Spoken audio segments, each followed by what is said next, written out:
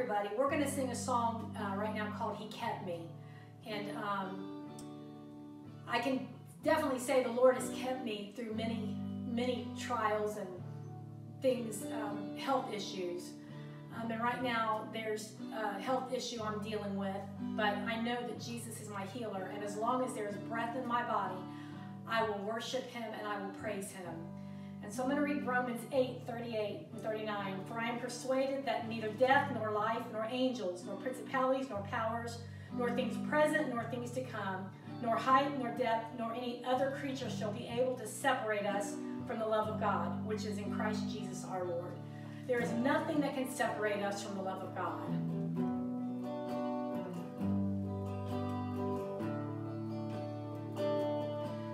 He kept me when no one was around. And he kept me when the walls came tumbling